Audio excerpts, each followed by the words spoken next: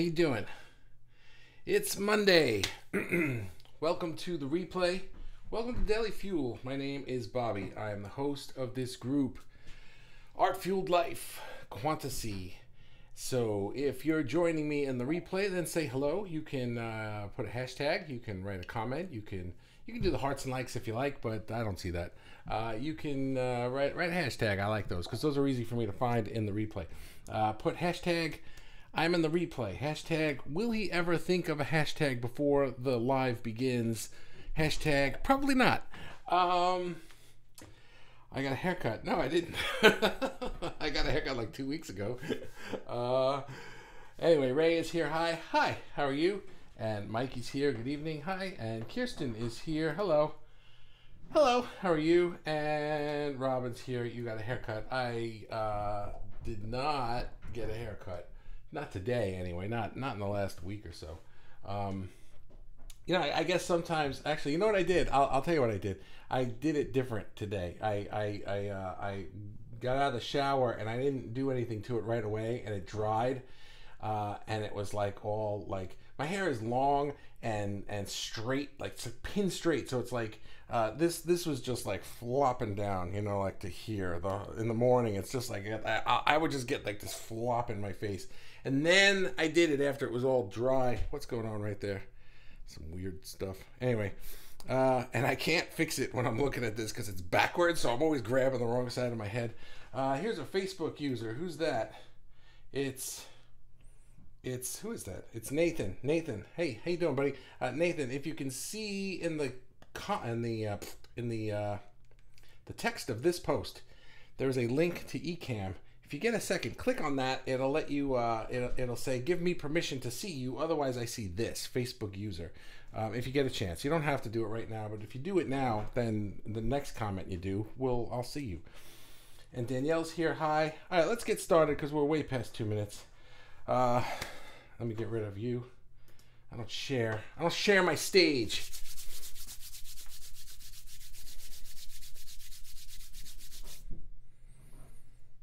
Wait for my dog to settle down up there. The message within art. The message within art. Nathan, I'm glad you're here, Nathan, because uh, you you uh, you suggested this one, and uh, you said art and the message for our time, something something along those lines, uh, in the uh, in in my post. Like, hey, what should we talk about this week? The post that has been going on and on and on and um, yeah, so it, that was a good one. I liked that one, and I've been I've been saving it for for when I had a good idea for it. I don't like to just do them because somebody said it. I like to wait until like like inspiration strikes, and I'm like, I know what to say on that topic now. And today I got that inspiration.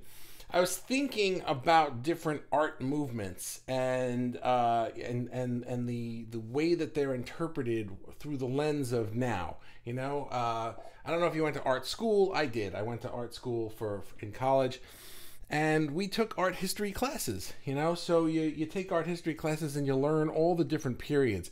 And the way they teach it it almost makes it seem like one day everyone said, "Hey guys, now we're in the Bauhaus period, so every or now we're in the Impressionist period, so everybody paint this way. Don't paint like this. You have to do like dip, dip, dip, dip, dip. You have to do little things so that when you stand back from it, it looks. It's like, did they have a meeting? Like, how did they all know to do this? You know? And uh, it was very weird to me that that you had these people who were and I understand it didn't work like that. Like one person started doing it and then another person started playing with that idea and then working off of that idea. And so you had like a movement going. I get it, you know? But uh, I was like, uh, do we do that? You know? I don't know. And um it, and it, it, it kind of made me uh, wonder like what what is the art of our time you know I, I always loved the modern period. It's like, really, that's the best name you could come up with. Hey guys, check out this modern art. And then after that was postmodern. It's like, you, not a lot of forward thinking in that in that naming. I think, right? So I look at our group, our, our group of artists here, and I see such an eclectic group of unique artists with our own styles and with our own thing. And I was thinking, like, what is what is our thing? You know, and uh, and I realized that that what if the what if our thing is not the style that we're using to to to make our art, but what if our thing is the message behind our art? And what if the idea of all of these different movements of the past, the Renaissance and the Impressionists and the whatever, you know, I'm not I'm not an art history. I can name a bunch of them, Art Deco and Art Nouveau, right? And uh, and and and you know, what if all of those movements were precursors to our movement. Like our movement is the culmination of this spiritual awakening in humans. What if that's what it is? You know, so let's play with that for a little while. And and I was just thinking of I thought of three things, surprise surprise. Um that number one is we can use art to share our message whereas a lot of these movements in the of the past were de- were defined by their style Ours can be defined by our message, I think, because we have an eclectic, wide range of styles, even just in this in this one Facebook group, but even artists of the day. You know, there are so many spiritual artists in the world who are not in this group, and I don't know why they're not in this group, but they should be in this group. Come on, right? Uh, but you know, I think that our style, our thing, our movement is our message, and I feel like we can all use art to share that message. Uh, it's like it's our secret weapon. I say, you know, it's uh, she will not settle down. She just won't settle down. I, am sorry. Anyway, uh, my dog. I'm talking about my dog. Uh, uh, anyway, she distracts me. I don't need you. Probably. I don't even know if you guys hear her, but she suddenly will go like, she'll be laying there and she'll be like, I gotta move up there, and she'll like jump up and run across the floor, and the floor is right above my head, so it's like it's loud. Uh, anyway, but uh, the art is our message, and art is our secret weapon to to share that message. You know, so it's like our message is this emotional, this this this inner what is the word that I'm looking for? I'm looking for a word. It, it's like we're we're we're trying to expand ourselves as individuals, but also as a collective. And I feel like the art that you create, and the art that this one creates, and the art that this one creates, and the art that I create, while individually are good, are interesting, are fun, are whatever, uh, collectively we are documenting this expansion of the human spirit. How's that? That's what I think. So that's number one. That's what I think our movement is. I'm, I'm kind of defining it as that. And number two, I believe that all art forms fit into this thing. A lot of these older art forms that we study and stuff usually involve paintings or sculptures. You know, there's there's others, there's music, there's stuff like that, but really when you think of like the Renaissance, you think of the sculptures and the paintings. Or you think of right the things that are obviously art that people who are not artists or who don't live in art world would just recognize immediately as art and be like, oh, I went to the museum and I saw the art. And they would think immediately like paintings and sculptures, you know? So, but I feel like all art is art. And and I and it sounds weird to say that except that I see questions in this group constantly. I do this. Is that considered art? I write. Is that considered art? I make these things. Is that considered art? And the answer is yes. Because if you're asking the question, I do this thing, is that considered art? That means to me that you consider it art. You're asking for permission for it to be art, and you don't need to ask permission for your art to be art. It's art. It's just art. There, there, there's no permission. permission granted, okay? And so, so let's start to understand that if you're hearing this and you make something, or you feel something, or you create something, or you draw something, or you write something, or you do something, you perform something, it's art. There's no question about it. And and here is the uh, here here's the addition to that that I wanted to add. I don't know if Alyssa's here today because uh, Alyssa Povey she put a poem in the group today about it was uh, a poem expressing her dealing with chronic pain. And uh, and I wrote that she was inspirational in the comments, and she asked, thank, uh, she said, "Thank you why? Why do you think that I'm inspirational? So my answer was that I feel like all of us deal with some kind of obstacle, some kind of uh, things that we need to get around or get over or whatever in our lives, you know. And the things that bug us are are important to us, you know. whether it, and if it's chronic pain or if it's the loss of a loved one or if it's this or it's that it doesn't it doesn't matter right we all have a thing that oh, I wish I didn't have that thing, you know? And we can all use it as an excuse to not follow our passions. We can all use it as an excuse to just say, I I can't I, I would do it except for that thing, you know? Um, but she's not. And hers is pain. I mean, it, it, it's she, she wrote in the poem that the, the the, the the creation of art quiets this noise in her head and the noise is pain you know and that doing the art alleviates the pain. And and and and it would be so much easier i think for any person to just be like well i'm in pain and so i'm not even going to bother doing things. But she doesn't do that. And to me that was inspiring. And it made me realize that in this eclectic group of artists that it's not just the art that we're putting on the table and saying hey i made this and i made this and i made this that's expressing this movement of ours. It's the actual creation of art that is the movement that is the expansion of the human soul.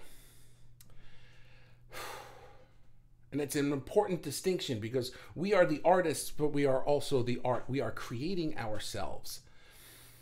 So that that's number two. Is all art is the art, and that the the the creation of art is art itself because uh, you know that should have been two and three because three is kind of the ex- extension of that. Three is that the message is the energy. It, it does the, the the thing about what we are doing here is not that it's that the, the we're all following some cool style like hey look what I do when I I chisel marble this way. We should all do that now. Doesn't matter, right? I don't think that the the painting techniques or the the the, the the dance moves or the singing styles or anything is what's important uh, for us. I think that the style, the language that we use, the color schemes that we use are all irrelevant. It's the energy. It's the energy that we bring to it and the intention that we're putting to our work. Uh, Crimson's here. There's one I want to do that you asked about. Is it still art if you didn't put intention toward the piece? And I think that it is uh, to, uh, I'm going to give you the short answer, and then whenever I get to it, I'm going to give you the long answer. But the short answer is yes, because we have the intention to create through this process. And sometimes we don't have the intention for a specific piece, but you know, we have the intention to be artists and to be expanding the human spirit. And all of a sudden, we're just walking down the street, blah, blah, blah, this thing comes out, and it's like, where'd that come from? But here it is, it's art. I didn't think about it, I didn't plan it, but it came out of me. You know, so uh, is that not art because you didn't sit down one day and doodle thumbnails first? No, of course not. You, it's art.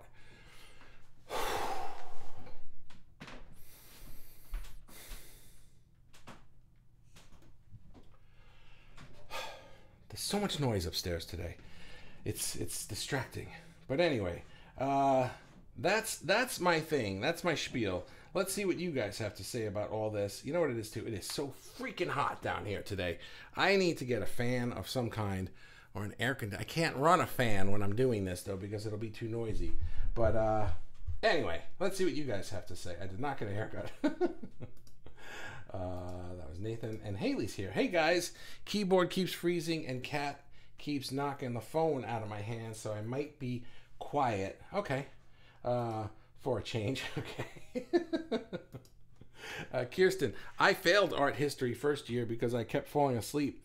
I aced it the next time though. You know, I wish that I had. Um, I wish that I had appreciated art history class when I took it more because uh, I remember it. I remember it being semi interesting, except I was already in like my fifth year of college at this point. Uh, if you don't know my story, I went to school for engineering before I went to art school, and I was just like halfway through engineering school, I realized that I hate this. I don't want to be an engineer, and I wanted to be an artist, but I was like, well, I'm already almost done, so it was like uh, I was going into my senior year and but then I failed a class and, and, in my senior year, and in order to get my degree in engineering, it was going to take an extra year because now I had to retake that class next year when it was given again, and that was a prerequisite for another class that I needed for my degree. And I was like, oh my god! So now it's going to be five years of college. Well, so I said, screw that, and I left, and I went to art school, and I said, well, if I need extra years, I may as well get a degree that I want. So now I was in my fifth year of arts of college, and I was taking an art history class, and I wasn't interested in lectures anymore. I just wanted to be like doing things, you know. I just wanted to be tell me what I got to do so I could do it and go here and get an A and get out of here. I want to I want to be done with school at that point. But um, we took this class, and the guy was cool, uh, but I didn't really. Uh, I didn't really pay that much attention to it because I wasn't interested in lectures anymore until we went on a field trip to the museum, no, the, the Metropolitan Museum of Art in New York City. And wow, that was amazing. That was an amazing day. I'll never forget that. And uh, it kind of opened my eyes to things. And to, to, this day now, I love to go to the city to museums. I love going to the Met. I love going to MoMA. Um, even the, the, the Museum of Natural History. It's not an art museum, but I'm into sciencey stuff too. So so there's that. But anyway, uh, I wish I had paid more attention in uh, in art history classes. The point. Hi everyone. Hi. Spiritual Art Collective. Yeah, you know that I feel that's kind of what we are. Uh, evolutional art. Is that Nathan again? I don't know. Oh, let me see. So I gotta take my glasses off. Let me see for a change. Who was that? Yeah, uh, that was Nathan. Evolutionary art. Yeah. That's what I feel like. I feel like we are an on on a if if we were looking at uh, ourselves as I guess we are as as the evolution of a species, except not biologically, spiritually, right? We are that we are that that generation that is expanding it to to to to more, right? That's what I think inner purpose, collective purpose. Yes, I like that, right? That's what I said, and that's a really good way to put it. There's an inner purpose that is part of a larger collective purpose. And and we bring our and and we bring our our independent things into this collective purpose. But the interesting thing about it is that the inner purpose, the individual purpose is just as important, is just as as relevant and and is just as important to the overall scheme. You know, it's not like, well, I'm just a nobody making thing. I'm making the cog that makes the thing spin, and here, oh, I added my two cents. No, every single one of us is creating something that's an important element in this thing, and it wouldn't work without it. Except that one guy. We don't need him. Uh, Crimson. Uh, if art if you say it. It's art if you say it is. Yeah, it is. It's art if you say that it is. You're the artist. How is it not? Right? How is it not art if you're an artist and you make something? The only way that it's not art is if you believe the person telling you that's not art. It's you didn't make that. You did right? There's always going to be somebody that thinks it's crap. There's always going to be somebody that thinks you're bad at that. There's always going to be somebody that thinks that doesn't count. Who gives a crap? Those people don't count. We we're the, the, the we don't listen to them. It's it's only you. You're the only one. Our art is documenting the expansion of the collective human experience. Love it. Did I say that? Yeah, I think I did. Uh, our art is documenting the expansion of the collective human experience. Uh, I did say that, didn't I? I'm going to put. That's going to be my post later tonight. I'm gonna, I'm gonna, I'm gonna.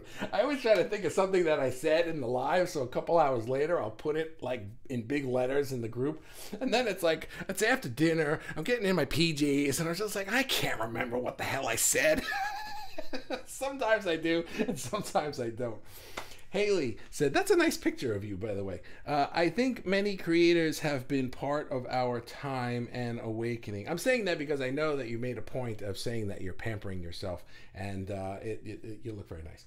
Um, I think many creators have been part of our time and awakening. How many Marvel movies and comics? George Lucas, he's a master as well. Yes, art, I believe, has the ability to raise awareness. That that I'm glad you said this because there was a whole. Do you remember uh, last year or earlier this year or whatever it was that um, what's that director's name? The Scorsese was like, yeah, Marvel movies, they're not cinema, you know. And it's like, who? It's like I know that you're Martin Scorsese, and I know that you get a, a, a high opinion of cinema and stuff like that, but I don't feel like anybody has the the right to knock another artist's art just because they're not uh, on a certain level or something like that. He wasn't saying they're not art and they're not valid movies. He was saying they're not cinema, you know, and uh, because they're just like, you know, popcorn money grabbers and things.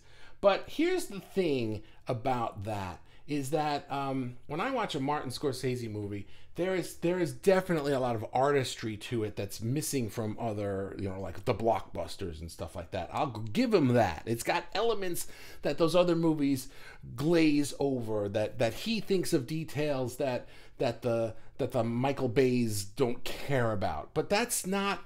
That doesn't mean that one art kind of movie is better than another kind of movie it just means that they're different you know? And and and they're st- they still have their important place because those marvel movies and those star wars movies and those even the michael bay ones i'm not a big fan of his but that doesn't mean anything. It doesn't because some people are you know? When you watch those movies you come out of them feeling something and that's the point. It's not the the cgi it's not the the color grading it's not any of that stuff.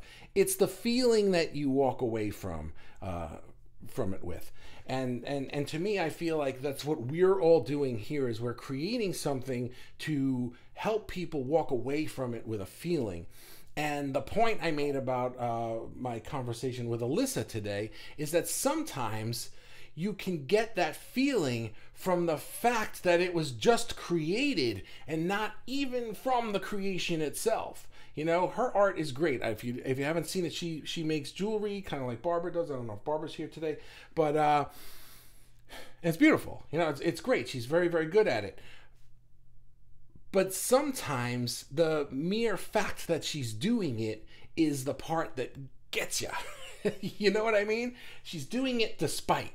And and I think that we have the ability to inspire people with our action and with our art. Christina's here. Hi, how are you? Nice to see you. I can very much relate to art being able to quell the pain we feel, whether it's physical or psychological. Uh, yes, I think that we all can, and uh, because because because why? Because we art for us is is a gateway into our into our uh, into our spiritual zone. When we get in the flow, we get in the zone, we get in the pocket, right? We we know these expressions and we know what they mean and we know what they feel like. And that feeling is getting into the quantum zone and creating. It's where creation happens in the unknown, in the out there, right? And when we're in that zone, when we're in that flow, there's no pain there. There's no physical pain, there's no psychological pain, there's none of it. There's only joy. The creation is the joy. That was the name of a daily fuel that I did a while back. The creation is the joy. It's not the do the painting so I can put it on the wall and look at it for the rest of my life. No, it's the doing. It's the thing. It's the making. Just breathe. The dog sounds like rain to me. Very relaxing. Oh, okay, that's nice. That's, that's good to know because uh, you know in the back, uh, uh, it's interesting that you say that because uh, I suffer from everything we all suffer from. By the way, I'm not Superman standing here. So so if, if she's quiet now, right? But um, sometimes when there are too many distractions for me, it's not only that it distracts me; it's that I'm nervous. I get this nervous feeling that my distraction is so obvious that I'm ruining the whole thing. No point in even saving. Let's just do it tomorrow. You know, that's what my ego wants to tell me. Um, I don't listen to him. I keep going. But uh, but that's that's the thing. So good. I'll remember it. It's raining out. Okay, good. Uh, art. Uh, Haley says art has the ability to heal. Yes, especially trauma. Yes. Uh, yes. Absolutely. I'm gonna take a sip of water if you don't mind. Uh, all right, so so Haley is continuing her last comment. It has helped with healing my PTSD. All my emotions go into everything I paint and create. It's the best release in the world. That's great. That's really fantastic. You know that that you have found an outlet to help you with a problem, and that's that's really it. And now this outlet creates joy for you and creates beauty for us. crimson. The collective energy of this group is like music. Being part of this group makes my heart sing. That's really nice. I like that. When you think of, because uh, it's easy for me to imagine it like music because I think of like a band or a symphony or an orchestra or, you know, a group right? It's like so we are a group of artists and we're all doing our individual part. And if you just listen to the flute, it would sound really nice. But when you listen to the flute and the cello and the violin and the things all together, and you got 15 flute players doing their parts, right? And it's like all of us, it just creates that symphony. It creates that whole different experience. And I feel like each one of us is bringing our own what did we call it? Inner inner purpose. Well, each one of us is bringing our own inner purpose to the table, and we are creating the collective purpose. a lot of catchphrases in this one today. Ro- Robin.